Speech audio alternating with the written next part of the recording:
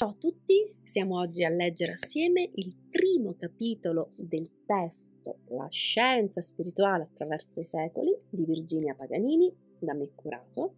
e che potrete trovare su Amazon cliccando sul link che metterò nella descrizione del video, link che vi permette di ricevere a casa sia la versione cartacea, come questa, che quella eh, EPUB telematica. Ebbene, il primo capitolo si intitola Le religioni emergenti dal principio spirituale dell'uomo e dalle leggi naturali morali. Cominciamo. La tesi dei due principi, materiale e spirituale, che formano le due essenze dell'uomo,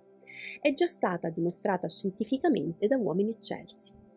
ma io non tratterò questo argomento se non per quei profani delle scienze spirituali che hanno bisogno di assicurarsi, semplicemente seguendo la guida interiore, che la creazione ha un ordine prestabilito, che ogni legge che la governa ha i suoi fini,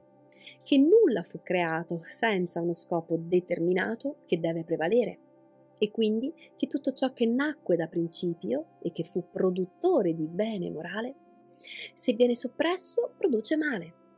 fin tanto che riaffiora col tempo e con le lotte che ne conseguono, giacché, secondo una legge naturale immutabile, tutto si ricompone secondo l'ordine prestabilito. Ciò rientra nelle aspirazioni del nostro animo, che sorgono in noi spontanee spesso contrarie ai bisogni materiali e alle passioni terrene, le quali, generando una disarmonia interna ed un conflitto, accennano ai due principi ricordati e alla missione che ha l'uomo sulla terra, superiore a quella degli animali, di rintracciare con la propria ragione le leggi naturali morali ed applicarle nella sua vita, con tutti gli altri uomini, ha lo scopo di generare concordia e benessere per tutti. L'unico fine prestabilito da Dio, ossia il raggiungimento del progresso universale.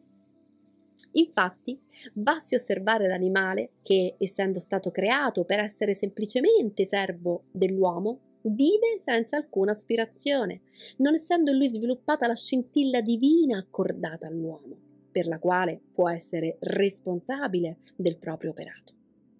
L'uomo per natura è libero e può con le proprie azioni raccogliere il merito o il demerito. Egli può usare ed anche abusare della propria ragione, come meglio crede.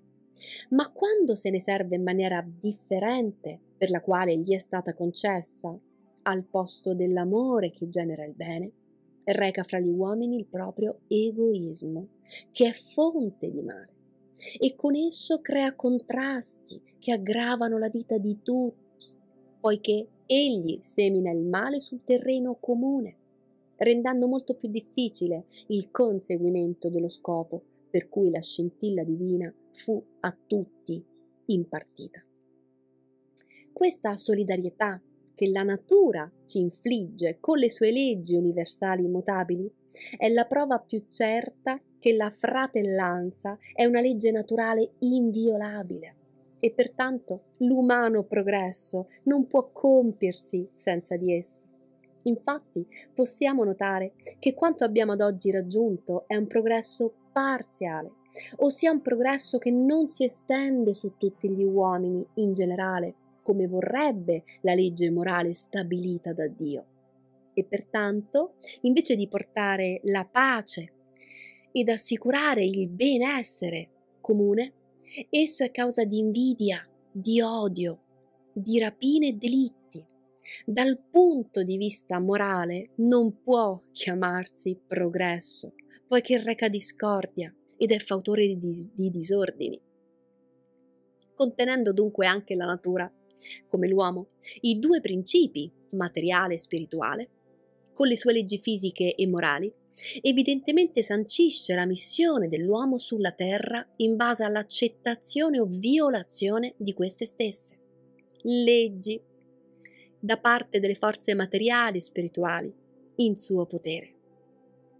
Ecco che da quando l'uomo con le sue imprese è venuto ad esistere, materialismo e spiritualismo, sotto diverse forme, si sono contese il dominio sulla terra, trascinando alla rovina le nazioni che più si discostavano dalle leggi morali, immergendosi nei piaceri materiali ed innalzando a dignità e benessere quelle che più immedesimavano queste leggi morali nelle leggi civili dello Stato. L'uomo primitivo, non potendo ancora comprendere queste leggi morali, non aveva alcuna nozione esatta del bene e del male. La sua attenzione, protesa specialmente verso i bisogni della vita materiale, lo induceva a procurare a se stesso e alla sua famiglia il vantaggio migliore anche a danno del suo simile. Per cui l'egoismo si sviluppava conseguentemente a questi stessi bisogni e alla sua ignoranza, sia nei confronti di queste leggi che dello scopo per cui gli fu data l'esistenza in queste condizioni, in quelle condizioni. Scopo che doveva trovare egli stesso con l'uso della ragione e con l'esperienza, accorgendosi di quanto la sua coscienza lo rendesse soddisfatto e lieto quando opera buone azioni verso il suo simile oltre alla riconoscenza che si desta nell'animo di chi è stato da lui aiutato, ricambiandogli un bene ancora superiore.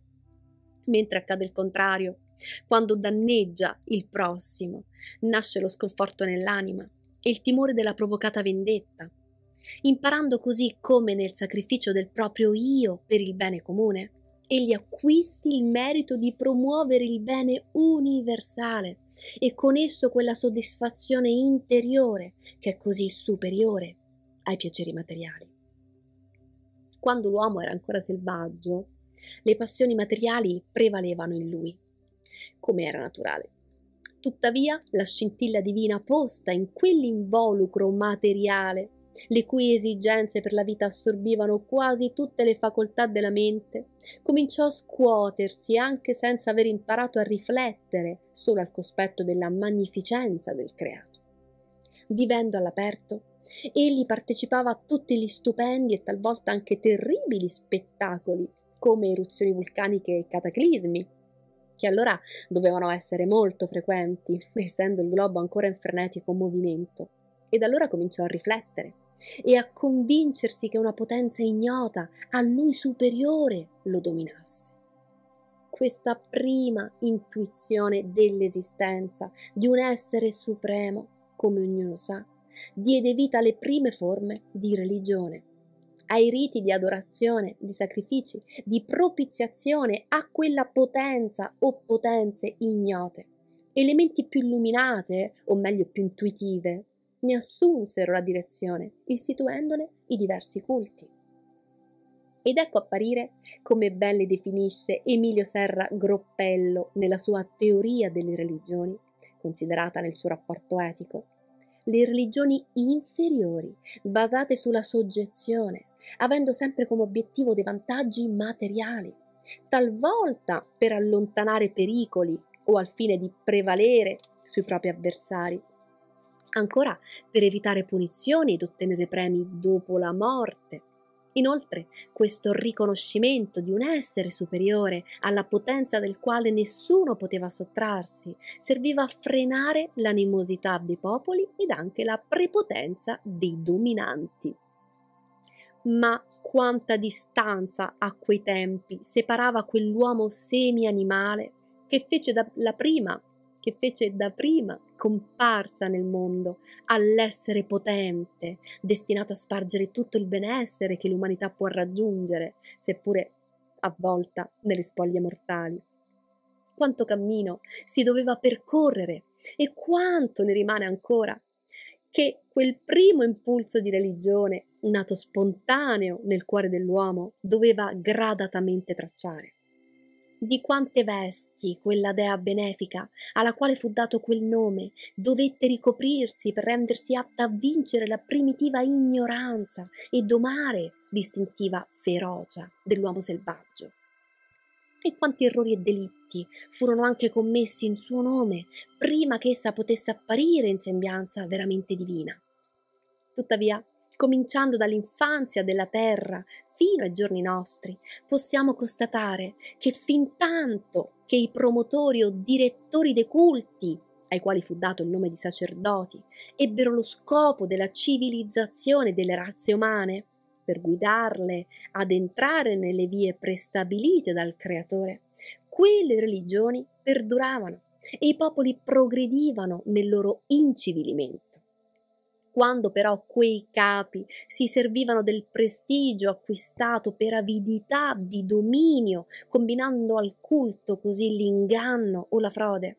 quando invece di promuovere le aspirazioni dell'anima, le soffocavano per imporvi la superstizione e la suggezione e la soggezione allo scopo di controllare i popoli, quando invece di radunare nell'unione fraterna cospiravano con i despoti della terra per separare popoli e dividerli in caste, in classi, decretando o sanzionando i privilegi che usurpavano i diritti alla gran parte di essi, quelle religioni, per legge naturale e morale, col progredire del discernimento umano, dovevano scomparire. E quei conduttori, quei capi, fonte di guerre intestine e di ritardato progresso, dovevano rimanere